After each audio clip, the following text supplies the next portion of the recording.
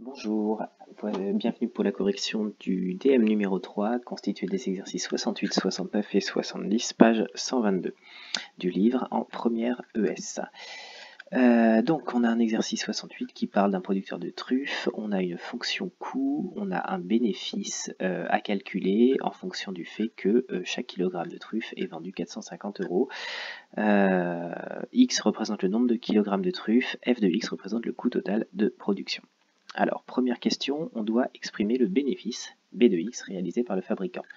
Le bénéfice est constitué d'abord de la recette. Donc la recette, c'est combien euh, on a gagné en vendant X kilos de truffes. En l'occurrence, comme chaque kilo est vendu 450 euros, pour X kilos de truffes, on aura gagné 450 X euros. Mais ça ne suffit pas de parler de ce qu'on gagne, il faut aussi parler de ce qu'on avait dépensé pour le gagner. Donc dans notre cas, il faut retirer, donc on fait une soustraction, euh, le coût de production. Coût de production qui justement correspond à la fonction f de x et qui est donc égal à x cube moins 60x carré plus 975x. On fait l'opération, donc pour cela on va distribuer le moins à l'intérieur des parenthèses pour pouvoir supprimer justement les parenthèses. Donc moins x cube ça fait moins x cube, moins moins 60x carré, ça fait plus 60x carré, moins plus 975x, ça fait moins 975x.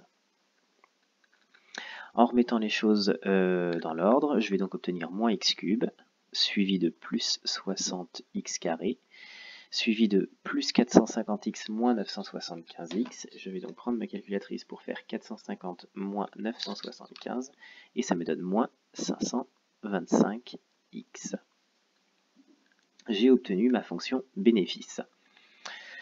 Ensuite, pour la question 2, on demande d'étudier le sens de variation de la fonction b. Étudier un sens de variation n'est pas toujours très simple, en particulier quand la fonction, comme ici, est une fonction du troisième degré. Pour cela, on peut se servir justement de la fonction dérivée. La fonction dérivée va être positive quand la fonction va être croissante, et la fonction dérivée va être négative quand la fonction va être décroissante. Je vais donc calculer la dérivée et étudier son signe. Donc, b' de x. Alors, je dois dériver les monômes un par un. Donc j'ai d'abord le monôme moins x cube, le monôme plus 60x carré et le monôme moins 525x. Donc c'est ça que je vais dériver un par un. Alors, moins x cube, donc le moins est conservé, et le x cube va devenir 3x carré lorsqu'on le dérive. Plus 60x carré, donc le plus 60 ne va pas bouger, et x carré va devenir 2x. Donc 60x carré va devenir 60 fois 2x, c'est-à-dire en fait 120x. Et enfin, euh, moins 525x va devenir moins 525 fois 1, donc moins 525. J'ai obtenu b' de x qui est donc égal à moins 3x carré plus 120x moins 525. Je vais donc maintenant chercher à savoir quand est-ce que cette fonction est positive ou négative. Cette fonction est une fonction du second degré, je vais donc pouvoir dire euh, que ça, ça va dépendre euh, de là où on est par rapport à ses racines. Une fonction du second degré est positive soit entre ses racines, soit à l'extérieur de ses racines, le tout quand elle a des racines. Donc déjà, il va falloir savoir si elle a des racines, et si elle en a, savoir si du coup elle est positive entre ou à l'extérieur de ses racines. Alors déjà, pour trouver les racines, on va calculer le discriminant delta. Delta qui est égal à b au carré, c'est-à-dire 120 au carré, moins 4AC, c'est-à-dire 4 fois moins 3 fois moins 525. Je vais directement faire ce calcul à la calculatrice entièrement. Donc 120 au carré, moins 4 fois moins 3 fois moins 525. J'obtiens 8100. 8100 qui est un nombre plutôt sympa puisque je remarque que c'est 81 fois 100, 80 est dans le carré de 9, 100 est dans le carré de 10. Donc en fait ça c'est 90 au carré. Donc quand je vais faire la racine carrée de delta, je vais obtenir 90. Euh, du coup, euh, ce nombre est positif, ce delta est positif, ça signifie qu'il y a effectivement des racines. Donc les deux racines vont être x1, qui va donc être moins b, c'est-à-dire moins 120, moins racine de delta, donc moins racine de 8100, sur 2a, c'est-à-dire 2 fois moins 3.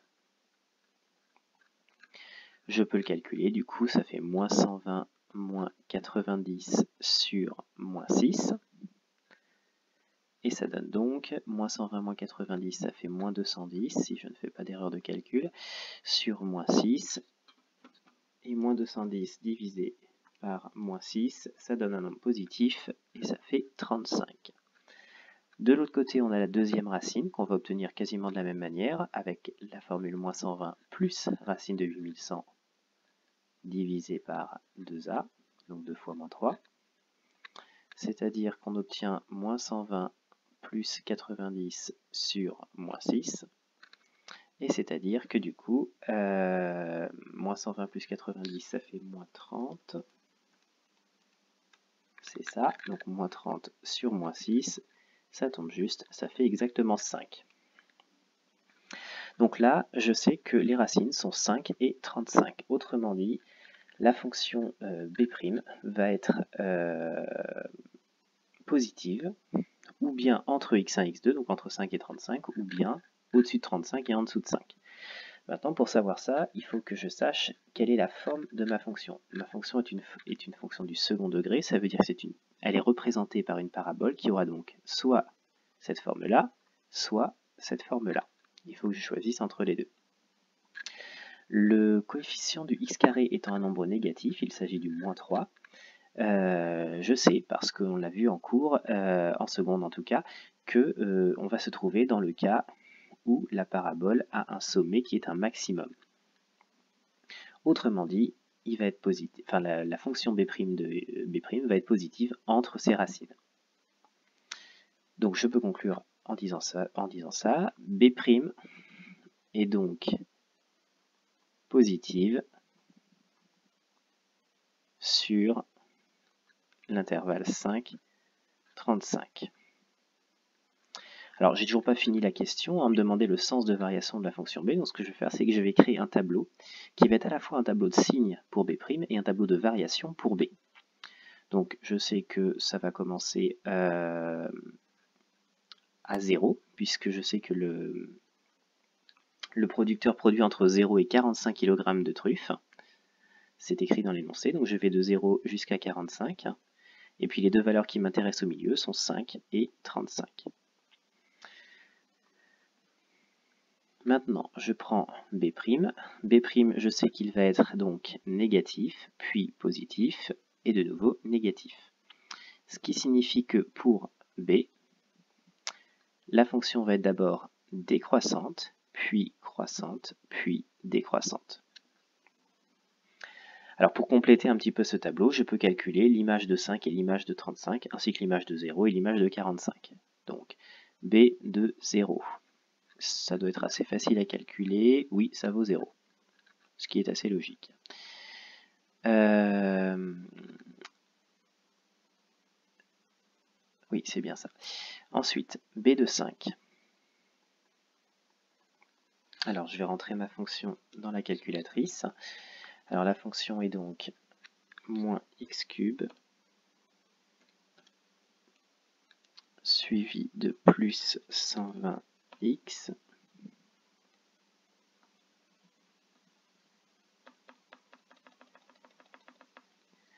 Ensuite moins 525 voilà. Ensuite je vais calculer l'image de par cette fonction donc de 5 on obtient moins 50 donc là, on a un bénéfice négatif, ce qui signifie que euh, si jamais le, producteur euh, récupère 5 truffes, en réalité, il perd de l'argent parce qu'il aura dépensé plus d'argent à les produire qu'il aura euh, récupéré en les vendant. À la calculatrice, je vais donc maintenant chercher B de 35. B de 35, j'utilise donc la calculatrice et j'obtiens 12 250. B de 35 est égal à 12 250. Et enfin, B de 45, toujours à la calculatrice, j'obtiens 6750.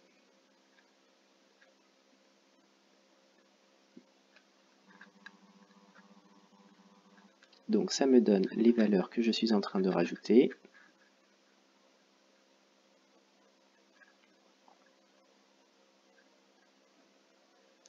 Comme ceci. et mon tableau de variation est complet. Euh, la question était étudier le sens de la variation de la fonction b. Je pense que j'ai bien répondu à la question totalement. Alors pour quelle quantité de truffes le bénéfice du fabricant est-il maximal? Donc là, il suffit de lire euh, le tableau de variation, pour les questions 3 et 4 d'ailleurs. Donc question 3, le bénéfice est maximal et maximal. Donc lorsque x égale 35,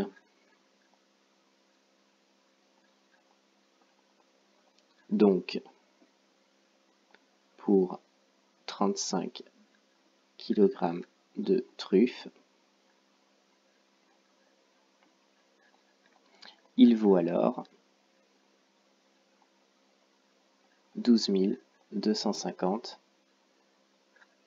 c'est-à-dire en fait B de 35 euros. Et j'ai terminé cet exercice numéro 68, euh, page 122. Voilà.